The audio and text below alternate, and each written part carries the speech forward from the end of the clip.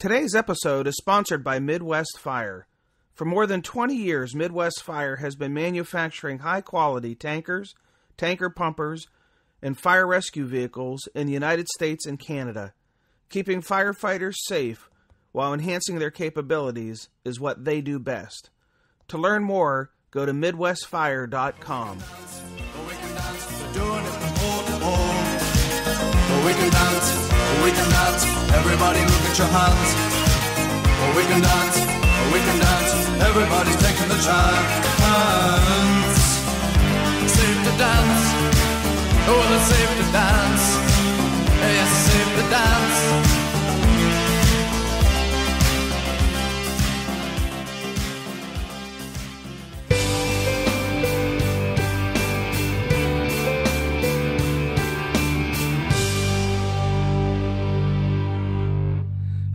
Welcome to episode 236 of the Situational Awareness Matters show. I'm your host, Rich Gassaway. The purpose of this show is to improve situational awareness and high risk decision making for individuals and teams who work in high stress, high consequence, time compressed environments with changing conditions. The SA Matters mission is simple we want to help you see the bad things coming in time to avoid bad outcomes. And like last week, I'm still on vacation here in my motorhome. Last week I was in North Carolina. This week I'm in Tennessee. We came to watch the leaves change, but as with all things with Mother Nature, uh, she had a uh, different idea, and we kind of missed it by about a week. But we're still relaxing and enjoying ourselves. Um, I'm recording this episode on a Friday night because tomorrow I'm leaving to do two programs in Alberta. Yes, even on vacation, the SA Matters mission doesn't rest completely. In today's feature segment, it's a continuation of a series of flashback episodes I'm running from the early days of the SA Matters show. When I first launched the show back in 2014, we had some amazing guests who shared some incredible near miss stories. The problem is the show was new, really new, and we didn't have a followership yet. Well, at least not like the followership we have today. So I want to give the listeners and viewers who weren't with us back then an opportunity to learn from some of those powerful stories. Now, for those who are watching the episode on the Essay Matters TV YouTube channel, the interview coming up is audio only segment because back then I wasn't recording videos of the interviews, it was only audio. Everything leading up to the interview and everything following the interview, that will be video. Okay, let's jump into my feature segment, a flashback with my interview with firefighter John D'Antuono as he recounts a story of falling through the floor at a residential dwelling fire, which then led to a mayday and his rescue.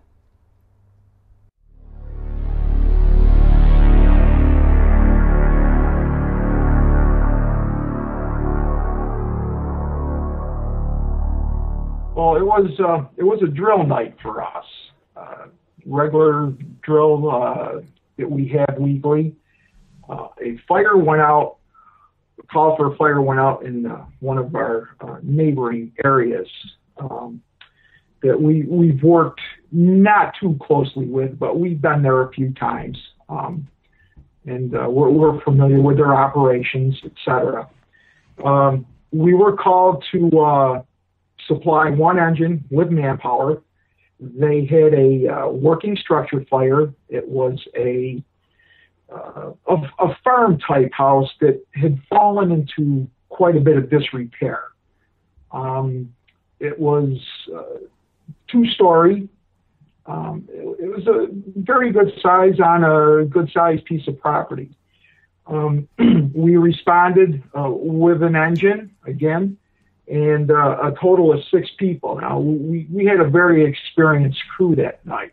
Our driver, uh, past chief, 40 plus years, captain on the apparatus that evening, uh, past chief also, 30 plus years, myself with 40 plus years, and uh, three other firefighters. One ha- happens to be my son with uh, five to ten years experience each. Um, so we were we were around the block. We we've been to a few alarms, and uh, and I, I would say we knew what we had to do.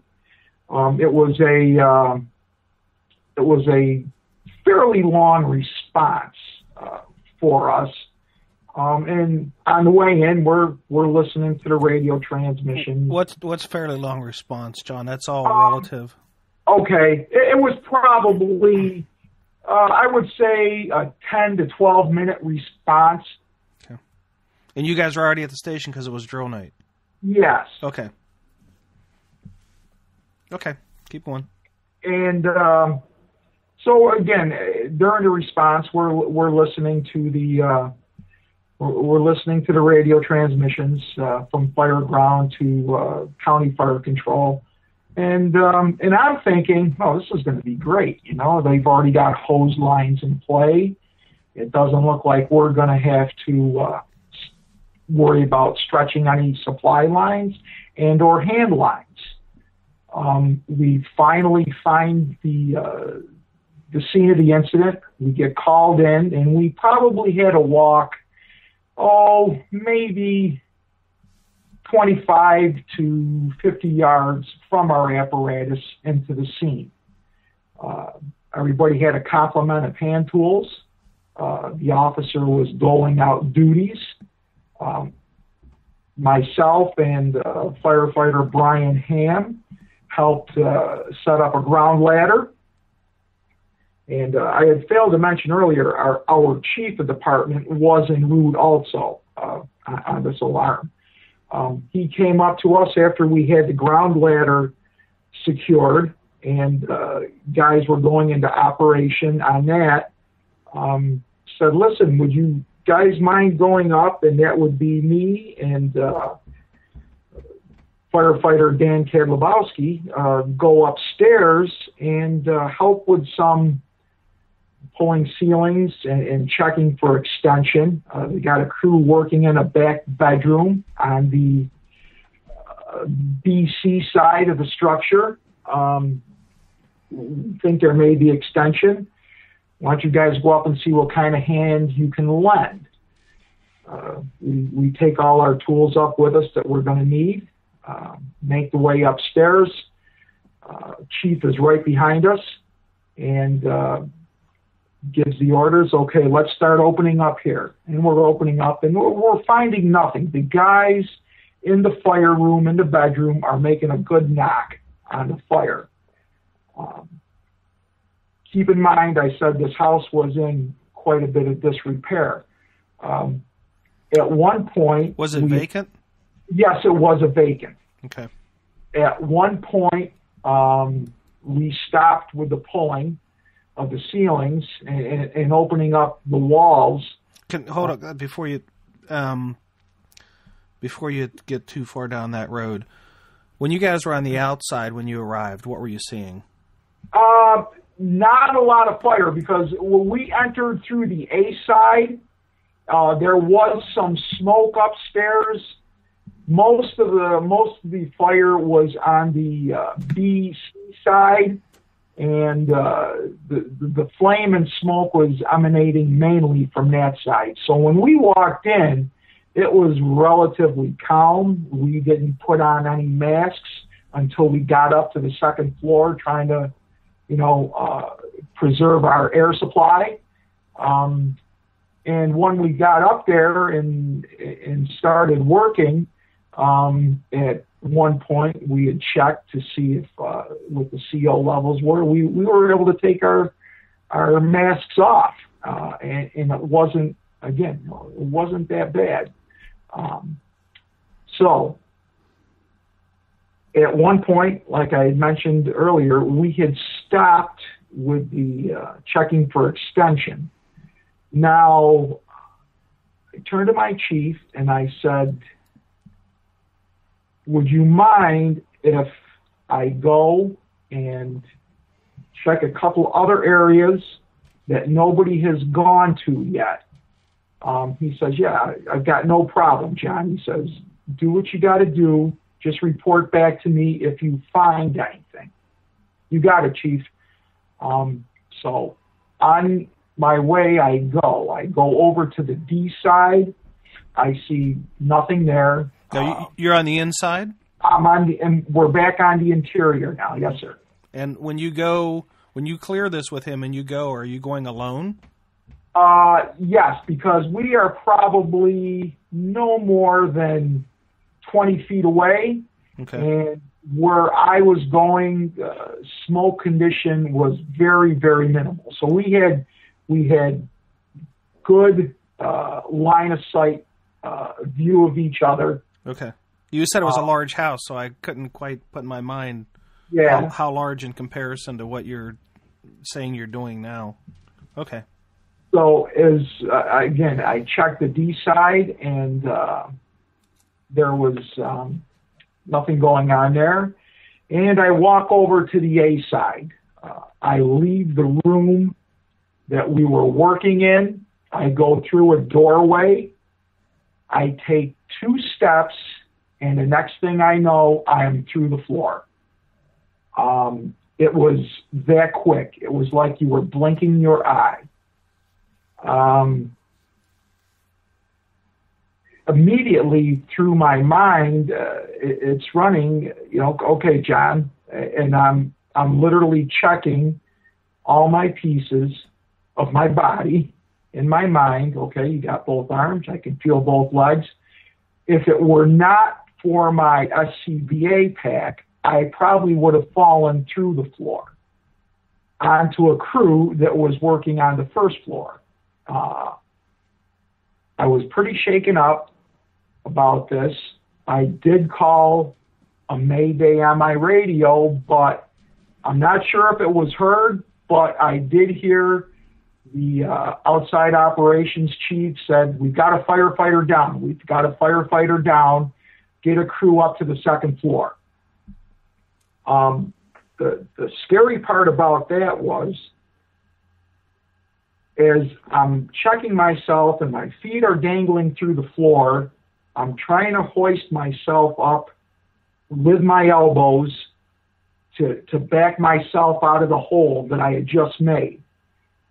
Here comes this other firefighter. Um, I do not remember what department. He lands right in front of me to help me. Now, this floor is severely compromised. Um, Can Can I ask you? Um, was it rot or fire damage? it was rot. Okay. And uh, So the fire wasn't right below you, and that's what no. caused it. No. Okay. No. All right. Keep going. This this other firefighter, um, again, I said the floor was you know severely compromised.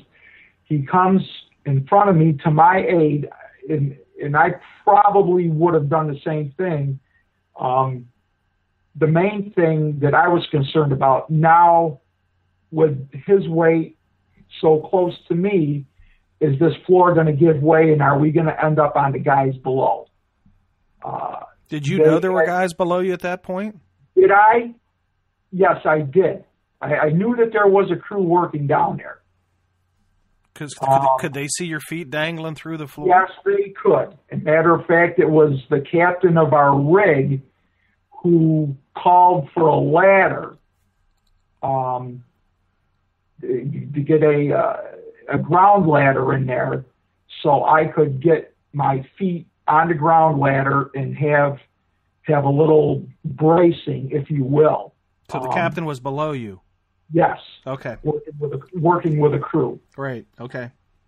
Um, our chief was about four steps behind me when he heard the crash. He had the presence of mind to grab my uh, SCBA shoulder straps and hold me until, like I said, that ground ladder was placed underneath my feet so I could have a little bit of uh, support underneath me. Um, with that, uh, I was able to get my SCBA straps undone. I, Chief helped me. Uh, I was able to situate myself.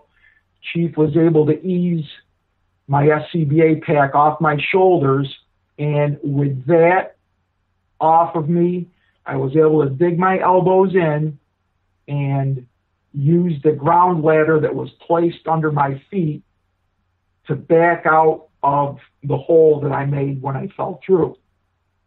Um, again, I was quite shaken up. Uh, Chief got me downstairs right away. The incident commander had called for an well, we had an ambulance already on on the scene. Um, they they took me uh, right into the rig. I, I happened to know the paramedic uh, who was working that evening. She was a, a friend of our family. Um, got all checked out. Uh, the thing for me, having this happen again, um, it was it was very embarrassing. Uh, it uh, again, I, I to me, my pride was hurt at that time more than anything else. I did not uh, receive any treatment in the ambulance other than blood pressure, um, taking my vitals. I refused treatment, and uh, at, at, at, the hospital, um, I did not want to be transported. Um, in retrospect, I probably should have because I was very sore for uh, uh, quite a few weeks afterwards. Mm-hmm. My, my neck and my shoulders, etc. Uh, it was, you know, quite a sudden jolt and, and jar to the body. So um, that. Uh, so you that probably had some soft tissue injuries. Probably, yeah. I had some. I did have some bruising, um, things like that. Uh, luckily, no broken bones, no no burns. Um, the the takeaway for me was I should have known better. I, I really should have. Known better uh, than what? That I didn't test the floor uh, when I was when I was you know walking up there. Um, somebody had said to me that the incident commander said that the floors were compromised in the structure. I did not hear that transmission, so um, I can't say if that is is that is correct or not. Um, so I uh, again uh, a very very bruised ego. Um, and uh, I just I think I, I should have known better. Uh, uh, probably, you know, it was it, I got I got the clear from our chief to, um, you know, go ahead and, and look around up there and see if there was any any fire that advanced overhead, etc. Um, I, I, I was very fortunate, and, and I, you know, I wanted to be able to share that. Mm-hmm. So you guys weren't looking for victims; you were looking for fire extension. Exactly. Mm-hmm. Exactly. And how many firefighters were in the house in total? Your um, estimate when this happened? On the second floor, there was a crew of, I believe, four on the hand line that was working that um, that uh, BC corner bedroom and uh, I was with my chief and uh, one other firefighter uh, that had gone up originally to check for extension, pull ceilings, open walls, etc. Mm-hmm. Um, on the floor below me, there was our captain, and I believe he had a crew of three or four with him also, mm-hmm. uh, right below me had come through the floor. Mm-hmm. Um, did you have a radio with you? Yes, I did. And you Every... said you said a mayday was called. Did you call it? Yes, I did. Okay. And does your department have, um, at the time, not now, but maybe at the time, did your department have, um, have had the firefighters been through training on Mayday? Uh, no, sir.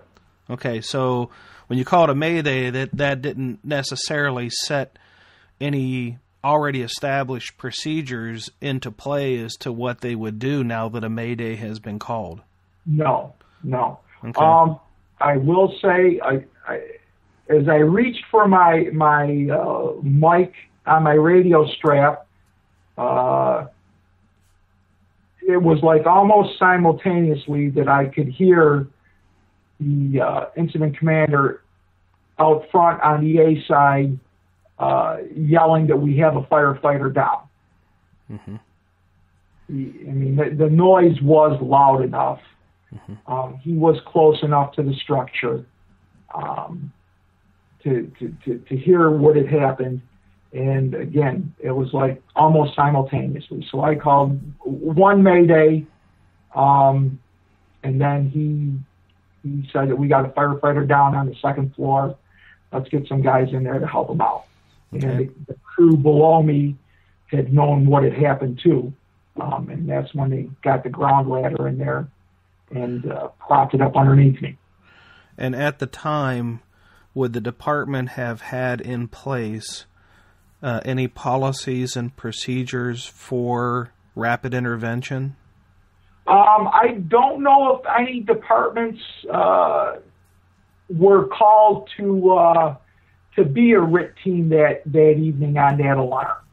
Uh, I know our department has been called numerous times to provide RIT service if needed. Um, on this alarm, I don't know um, if anybody was charged, any department was charged with that task that evening. Okay, well, would you have heard on the radio, you know, a, Yes. a call for a RIT team activation if they'd have been in Uh, place? well, they would have during the initial dispatch. Um, they would have said Lakeside. Uh, we'll use Lakeside for an example. Lakeside, you uh, you will be the RIT team on this alarm. oh, so so they that- tell them that when they dispatch them, Yes, sir. and you don't recall anybody being dispatched to be the RIT team for that Uh, alarm. No, I did not hear that. What tr- what triggers the decision as to whether a department's going to get called to be the RIT team um, for a call? Um, I I honestly don't know. Okay. I, I honestly don't know the answer to that question. Was this was this dispatched as a structure fire? Uh, yes, it was. Okay. Um, and then you guys were, uh, are you automatic aid or mutual aid? Uh, this was mutual aid. Okay. They, they called for another engine. Okay. Uh, we we were dispatched. And how many firefighters would you estimate were on the scene by the time you guys arrived? Uh, I know you said you were about you know ten or twelve minutes to get there. How many firefighters were on the scene when you got there? I would I would dare say, um, between the home department, oh, in the neighborhood of um, say thirty five. Okay, so there were thirty-five on the scene when you guys arrived. Yeah. Okay. So there was enough, arguably, to have a rapid intervention crew Right. designated. Right. Yeah, okay. Whether that had happened or not, I, I don't know.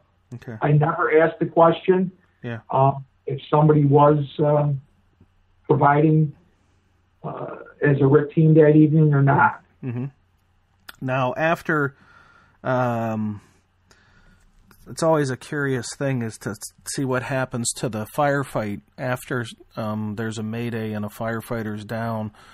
Um, did it affect the uh, actual fighting of the fire as the attention of the incident shifted toward the firefighter down? No, I do not believe so. Uh, the the handline crew that was up on the second floor, um, I think it was business as usual. They they continued the attack on the uh, you know on the fire room. Um, The fire was on the second floor? yes, Okay. and I I would dare say at that time by by time everything happened, I dare say that the fire was was pretty well knocked down. Okay. All right. And uh, How many? And I know you said this was a large house. What's the estimated? Give me an estimated square footage so I can at least get into the minds of the listeners how big a big house is. Oh goodness, I, I'm not. I'm not very good at, at measurements. Um, All right. Um, I, I'm sorry, I can't help you there. okay. Uh, would you say um, twice the size of an average person's house? Yeah, it was. It was. We we called it a farmhouse. Okay. Okay. And it was old like a farmhouse? Yes, it was. Okay. All right. Um, We were in and out again. It was in, in, in serious, serious disrepair. mhm. Uh, people had lived there. People had moved out, back in again, moved out. Uh, newspaper and mail stacked up in the mailbox and on the front porch, etc. hmm What's the status of that house today? Um, I believe it's still standing. Whether it's uh, been habitated or not, I don't know. Okay. I just wondered if they fixed it or tore it down or just boarded it up and left it. Um, what'd you learn from this? Well, not to be complacent. Um, be aware of your surroundings. I think, like I said, when I I probably let my guard down personally when um, we were going to the scene, uh, responding to the scene. Okay, great. They already got hand lines working. They've established a water supply. You could hear all the action going on via radio. Um, maybe that's when I let my guard down. Uh, I know, I know now, in subsequent alarms I've been on, um, I am on, I am on high alert. Uh, just so something like this does not happen again. It's amazing how, how your level of alertness changes after you almost die, huh? Yeah, it's um, the eye opener, I guess. Mm-hmm. And what? So, what what advice would you give to a young firefighter? You know, you got 41 years on, so you know it's arguably that it's heading toward the day where you need to pass the torch or pass your knowledge on. So you've got a group of firefighters that all say have two or less years experience, and you come into the kitchen table and they're all sitting around, and and you want to share with them some of the wisdom that you now have as a result of this call. What would you tell these young firefighters? Uh, please take your training seriously. Um, this is uh, this is not a football game. Uh, you're you're not going to cross a goal line and everything is going to be over. This is a job, whether it's volunteer or career, that just keeps evolving and evolving and evolving. Um, if not, you don't play it that way, you're going to get seriously injured or worse. Um, I, I would also like to say that as a department, chief officers, line officers really need to enforce uh, building construction. They need to really enforce Mayday procedures slash protocols. Um, drill on that. Uh, the old adage, you know, you got you you you need to uh, play and drill the same way. Uh, it's it, it, starts in the firehouse. Um, we are not invincible. Um, we we've got to be aware of what is happening around us uh, constantly, constantly from the time the alarm goes out until the rig is backed in. Um, that's what I would like to impart on on the uh, say the younger generation. Yeah, good, good, solid advice there. Did uh, did the was there any kind of um, uh, after action review or a get together of the departments involved to kind of see collectively um, lessons learned or things that could be done different or better as a result of what happened to you? Uh, unfortunately, no. Um, we had what I thought was a fantastic opportunity. Um, I belong to a department that is part of a coalition of, I believe, eight other departments.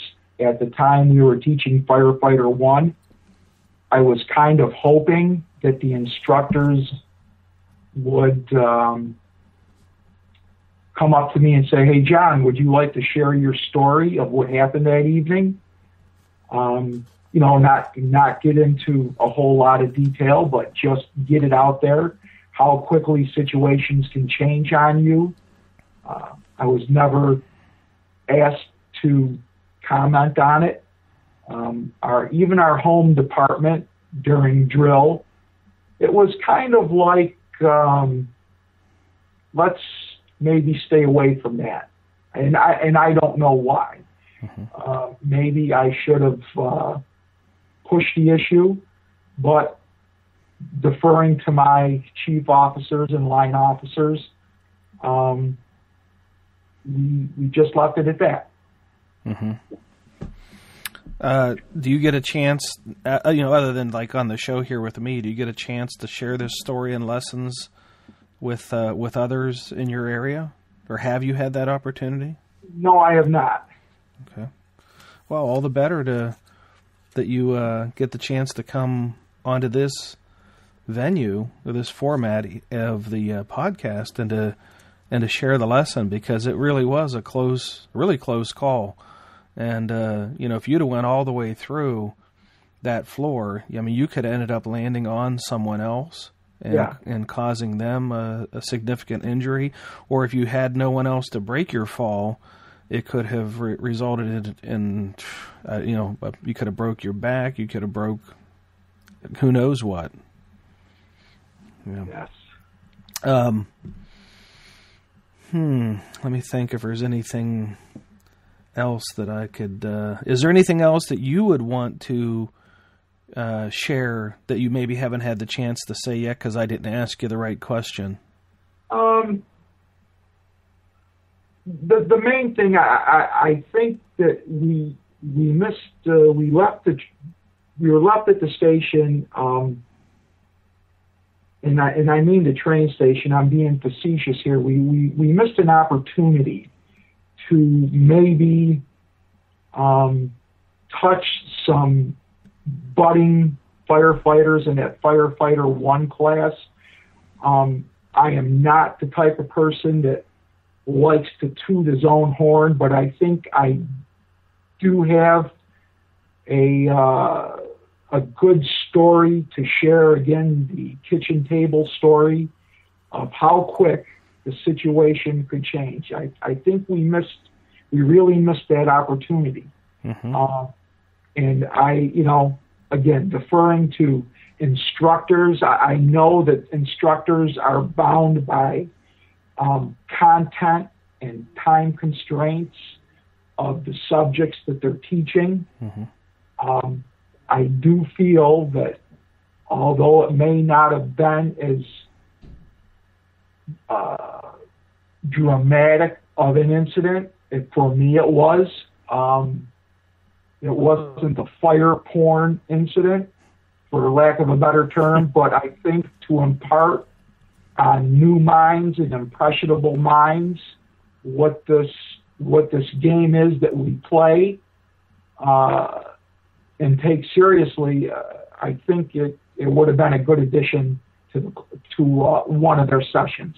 Yeah. Well, on the upside, you will now have forever a permanent link to this podcast that you can at least point students or instructors into the direction and say, look, you might not have time to cover this in class, but get your students to go on iTunes or onto Stitcher Radio and mm-hmm. download this uh, interview and make it a homework assignment for them to, to do that and then come back and and and just have a conversation about how important it is, as you say, to not be complacent and to always be on guard. And I think that would be a really powerful lesson. You just gave that lesson not only to all the firefighters around Syracuse, you gave that lesson to firefighters around the world. And for that, I thank you. Thank you. I think Rich's Rich's ability to, to, to, connect with any crowd that's a that's a gift that he has, and, it, and, it's easily transferable. This is the second or third time that I've heard him speak. There's some teeth uh, to the information that he that he brings. It's been really good. Good mixes. He knows when to throw in a joke here and there to get you back involved. Some tools. Um, I'm a new lieutenant, so very, very interesting. And some of these things I can take back to the station and use with some of the new firefighters I have my, on my crew. Something to get you thinking about your job more, big picture type stuff. I've seen them before. A good review for sure. I have heard him before, yes. After he speaks, there's usually an enlightenment because now they're more aware of what's going on around them and what they're experiencing as they're responding to calls. He's, he's very, very knowledgeable. I'm enjoying it so far and that intuition.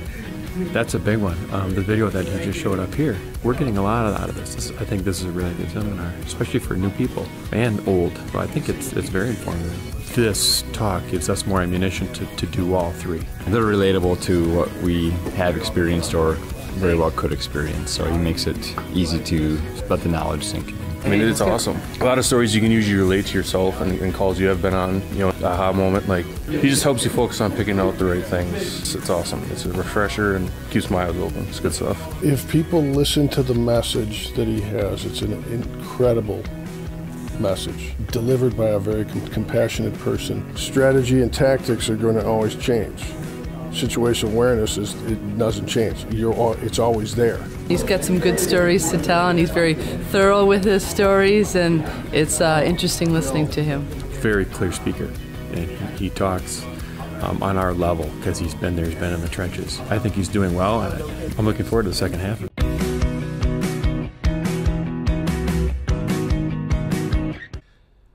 Thank you, John, for participating in this interview and sharing your lessons learned with our listeners and viewers.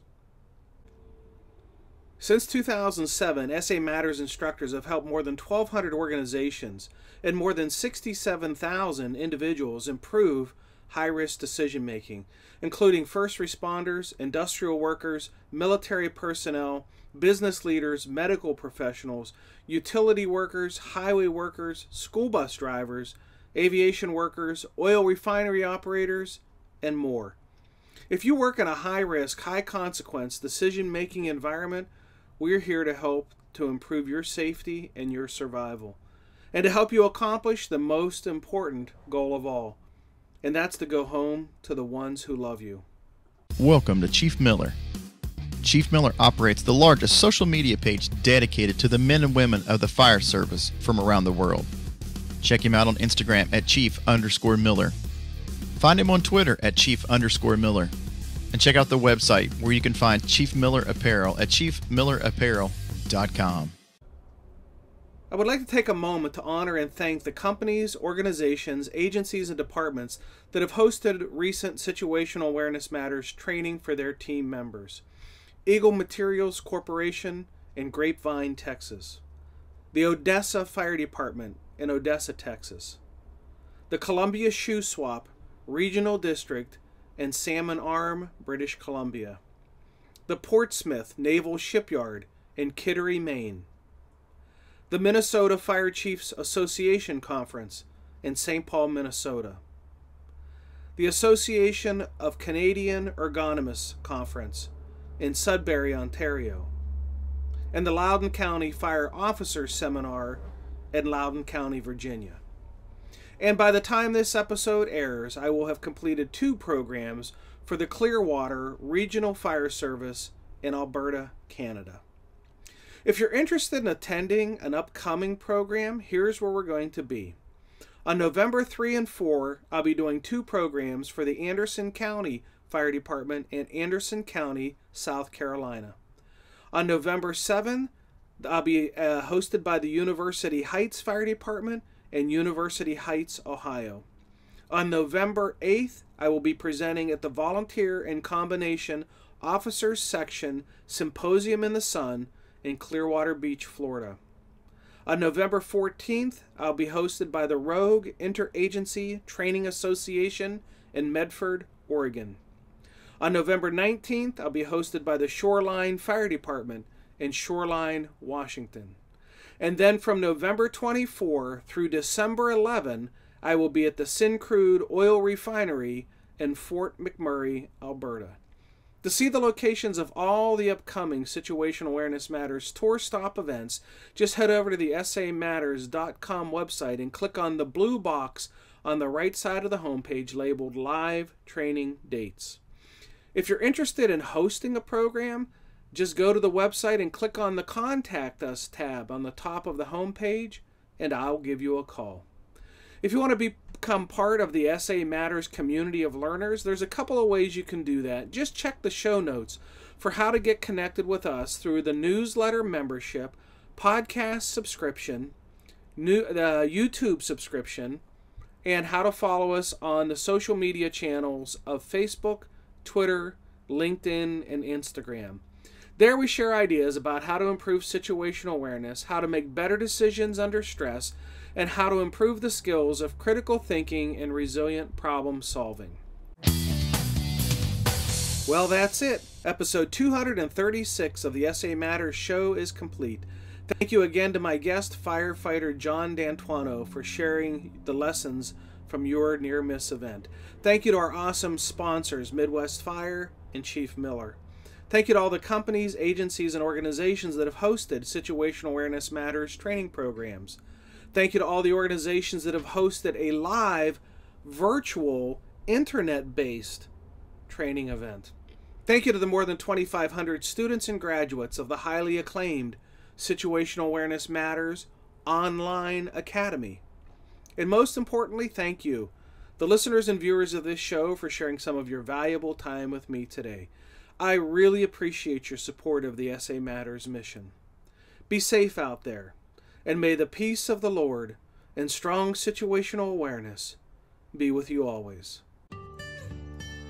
You've been listening to the Situational Awareness Matters radio show with Dr. Richard B. Gasaway. If you are interested in learning more about situational awareness, human factors, and decision making under stress, visit samatters.com. If you are interested in booking Dr. Gasaway for an upcoming event, visit his personal website at richgasaway.com.